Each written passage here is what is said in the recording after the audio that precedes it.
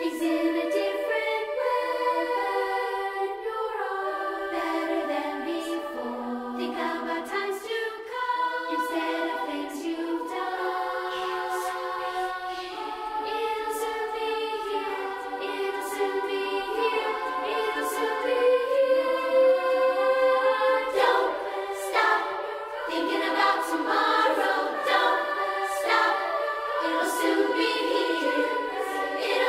powered by hydrogen molecules, and the only emission is pure water. The all new Honda Clarity Fuel Cell Vehicle. Available today because we're always thinking about tomorrow.